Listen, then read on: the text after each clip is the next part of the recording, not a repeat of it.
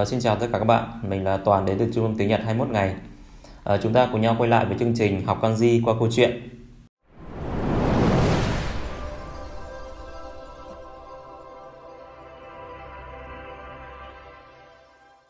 Ngày ôn tập hôm nay sẽ là ngày 29 30, tức là tương ứng với phần ờ, uh, kanji N3. Các bạn học viên sẽ xem lại ở trong uh, ngày 29 30 ở trong học kanji đạo. Thì chữ đầu tiên mình ôn tập cho các bạn Ờ, rất là dễ đúng không? Các bạn còn nhớ câu chuyện mà lực thừa đao thụt không? Tức là chữ lực thì sẽ có cái lòi lên còn nếu không lòi lên thì là chữ diệm, chữ đao đúng không? Thì ờ, từ chữ đao này mình sẽ suy ra một dãy những kanji mà khi mình thêm một bộ gì đó thì nó ra một chữ khác. Đầu tiên chữ đao mình thêm bộ bộ y đúng không? Tức là y phục. Nhớ các bạn cẩn thận nhầm bộ y với bộ thị nhé. Tức là nó chỉ thêm một nét thôi. Đó khi mà đao mình thêm bộ y thì các bạn nhớ được chữ gì không ạ? Ở trong khoa học là à, nhìn sơ sơ đúng không?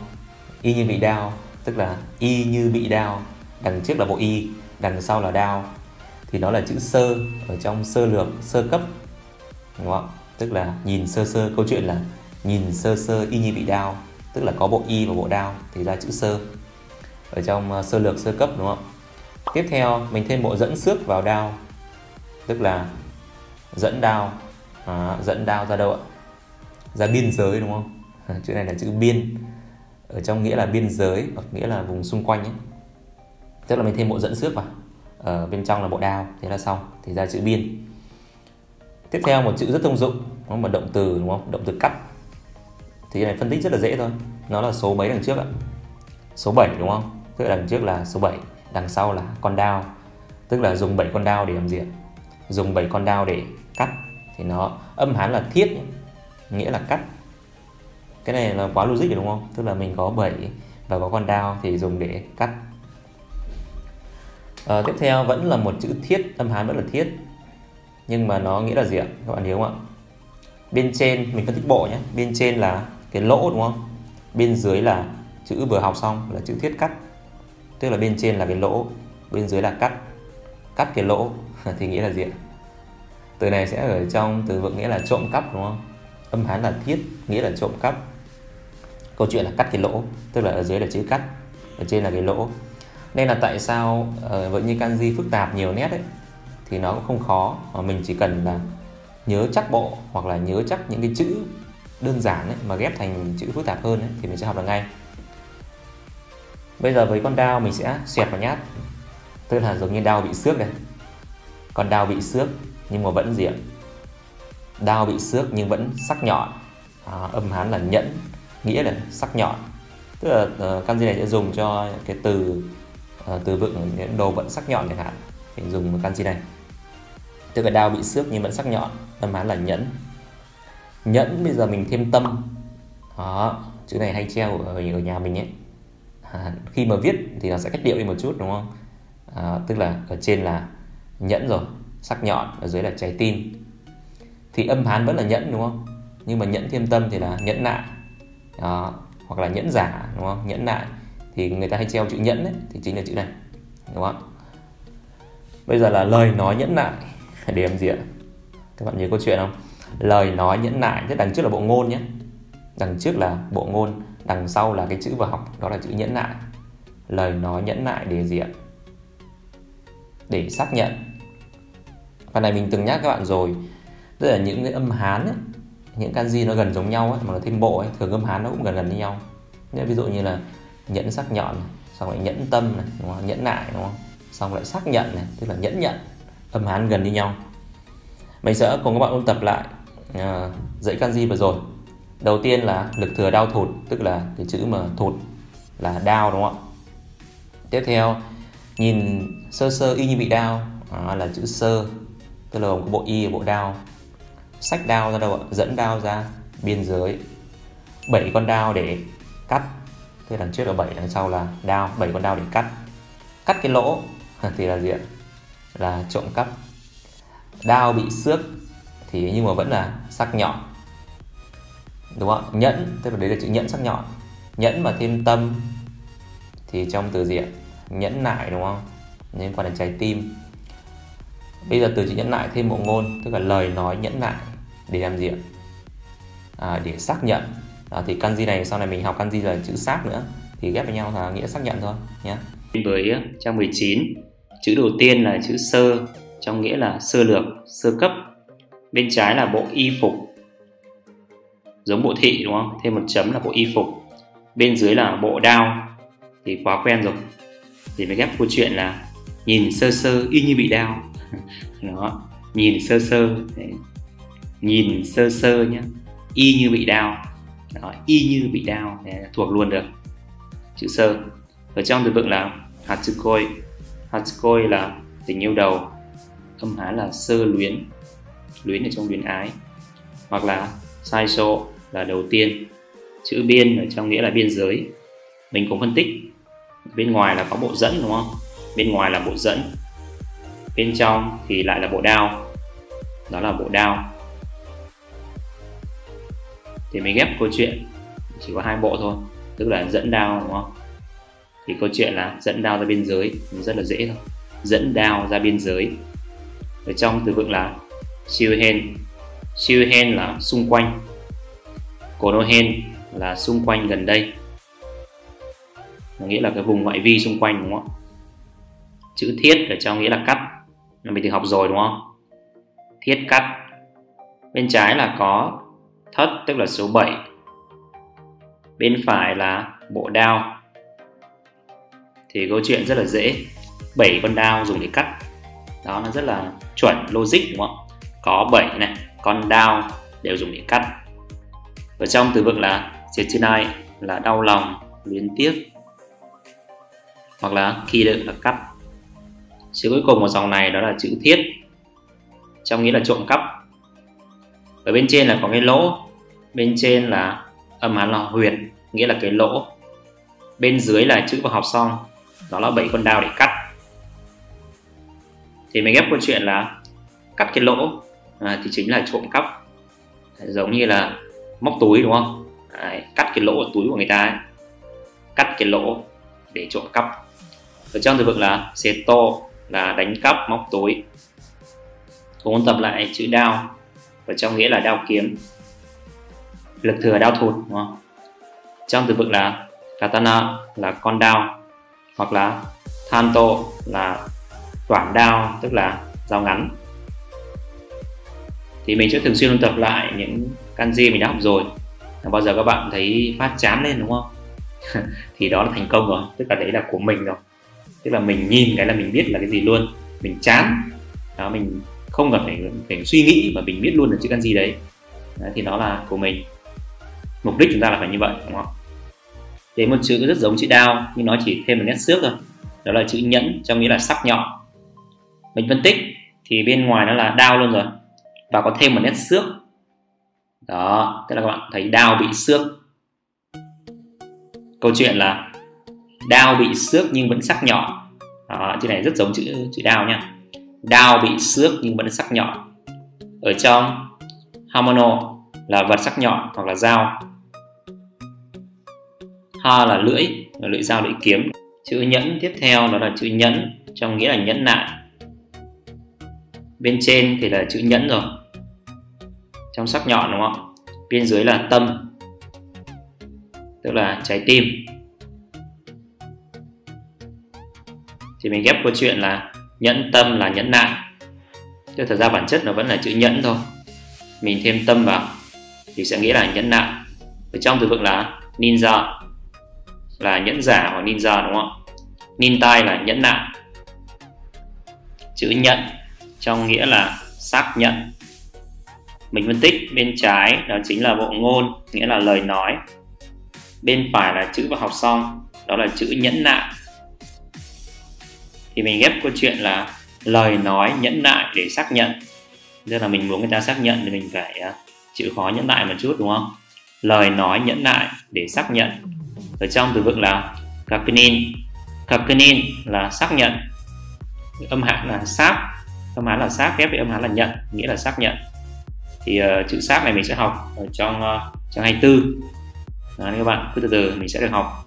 Hoặc là từ vựng khác là mitomeru là thừa nhận công nhận thì đây là âm kinh của của của chữ nhận đúng không? Bên trên là âm môn. Âm môn là ghép kanji âm cân là kanji đứng của mình. Như vậy là mình đã cùng các bạn ôn tập xong ngày 29 mình sẽ sang ngày 30 ở trong khóa học kanji đạo phần kanji N3 với ngày 20 này thì mình sẽ ôn tập cho bạn à, 6 kanji. À, đầu tiên ờ, chỗ này rất là dễ đúng không ạ? À, quá quen rồi. Ở trong phần là năm mình cũng từng học rồi đúng không ạ? Đây là chữ thổ đất tôi nghĩ là đất bây giờ trừ cái đất này mình sẽ sang cho các bạn hai kanji đầu tiên là đất bây giờ mình thêm cái mồm đằng trước. Nó là câu chuyện là mồm ngoẹ ra đất đây đúng không? Mồm làm cái gì mà nó lại ờ, những cái chất nó bay ra đất đúng không? Thì nó là chữ âm hán là thổ hoặc là thố nghĩa là nôn ra đúng không? Đấy, tức là câu chuyện là mồm ngoẹ ra đất. Thì nó nghĩa là nôn ra là hợp lý rồi có cái mồm đúng không? Ví dụ như có những cái từ như là thổ huyết đấy, đấy tức là máu bị nôn ra đúng không? À, tiếp theo bây giờ là thêm gì đấy? Thêm sườn núi tức là sườn núi nó nó đè xuống đất nó tạo ra gì ạ? Sườn núi mà đè xuống đất thì tạo ra áp lực. Đó thì nó là chữ áp ở trong áp lực đúng không? À, một chữ kanji khác.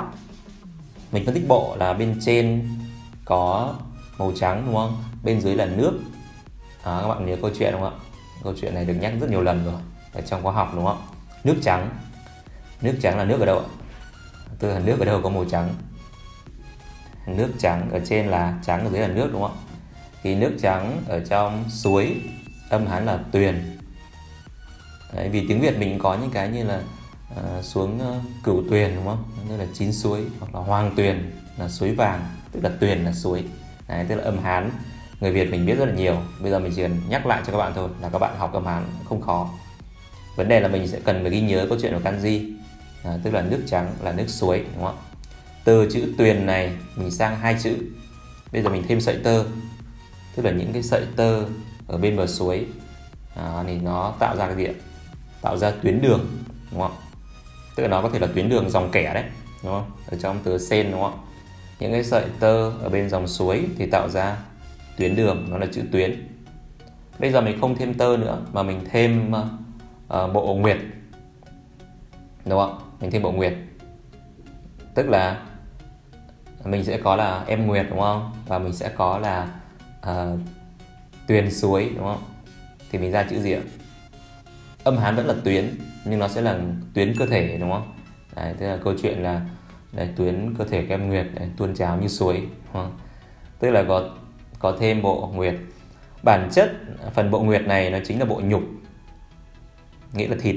Nhưng vì cái bộ nhục thịt này giống y hệt cái bộ nguyệt nên là mình sẽ coi luôn là bộ nguyệt để các bạn đỡ phải học nhiều bộ.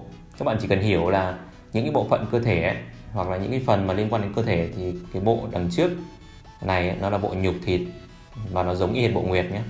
Nên mình coi luôn là nguyệt. Và chúng ta cùng nhau nhắc lại đầu tiên là thổ đất sau đó là mồm quẹ ra đất thì là nôn đúng không? À, là thố hoặc là thổ là nôn. Sườn núi ép xuống đất thì tạo ra áp lực. Nước trắng là nước ở đâu ạ? Nước trắng là suối. À, tuyền suối mà thêm sợi tơ thì ra tuyến đường. Thêm em nguyệt đúng không? Thì ra tuyến cơ thể. Đến một chữ kỳ thông dụng đó là chữ thổ đất. Thì cái này mình đã học từ lâu rồi đúng không quá dễ rồi. Ở trong từ vựng là doyobi là thứ bảy chữ chi là đất chữ thố nghĩa là thổ ra tức là nôn ra thố thổ được được nhé. Ở bên trái mình có cái mồm đúng không bên trái là cái mồm bên phải là đất. Đó, rất là dễ tức là mồm nôn ra đất. Thì đây là chữ nôn đúng không mồm nôn ra đất. Ở trong từ vựng là haku là nôn mửa.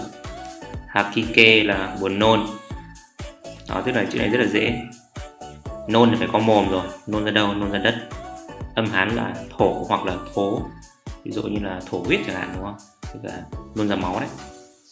Chữ cuối cùng của dòng này đó là chữ áp, ở trong nghĩa là áp lực. Thì mình phân tích bên ngoài đó là bộ sườn núi, hán sườn núi, đúng không? Bên trong là đất. Thì chữ này rất hợp lý rồi tức là sườn núi nó ép xuống đất. Các bạn hình dung là cái sườn núi nó ép xuống đất thì tạo ra áp lực. Nó nó rất là đúng nhé sườn núi ép xuống đất tạo ra áp lực.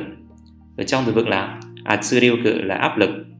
Âm hán là áp và lực luôn. Ờ, một từ khác là vô sự là gây áp lực. Thì từ này nó mang nghĩa là giống như ấn xuống ấy. Nó sẽ hay dùng ở trong khi mà đấm bóp hoặc massage thì hay dùng từ này trước khi học chữ tuyến ở trong tuyến đường thì mình cần học chữ tuyền suối trước. Mình phân tích ở bên trên là có màu trắng, tức là nhật thêm một chấm, đúng không bên dưới là có nước. Thì bây giờ mình ghép câu chuyện rất lý, tức là nước trắng là nước suối, đúng không?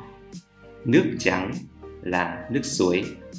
Ý là suối là có nước màu trắng, đúng không thì rất là dễ rồi. Tại sao mà là tuyền?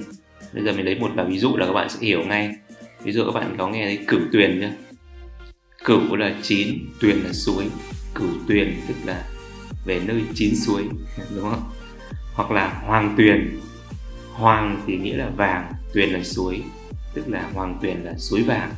Đấy, thì các bạn hiểu là âm hán tuyền nghĩa là suối nhé. Chữ tuyền này trong các từ vựng ví dụ như là ừ, izumi là suối hoặc là onsen đúng không? là suối nước nóng chữ tuyền suối vừa học, mình thêm tơ đằng trước, thì ra chữ tuyến ở trong tuyến đường. Nên mình phân tích, thì bên trái là có sợi tơ, đúng không bên phải là chữ mình vừa học, nước trắng là nước suối, đúng không thì mình sẽ ghép hai bộ này. Câu chuyện, ra câu chuyện là cây tơ lụa chẳng chịt ở suối tạo ra tuyến đường. Các bạn thấy không ạ? Tơ lụa chẳng chịt ở suối đây, bên này là có bên trái là có tơ này bên phải là có suối này. Thì tạo ra tuyến đường. Ở trong từ vựng là Shinkansen, là tàu Shinkansen, đúng không hoặc là ở trong sen thì nó nghĩa là dòng kẻ, vạch hoặc là tuyến đường. Mình có thêm một chữ tuyến nữa, đó là tuyến cơ thể. Thì bên trái sẽ có bộ nguyệt, đúng không bản chất là bộ nhục, nhưng mà mình sẽ học là bộ nguyệt tiếp theo là có suối. Thì mình sẽ ghép hai bộ này để ra câu chuyện. Đó là tuyến cơ thể của em Nguyệt tuôn trào như dòng suối.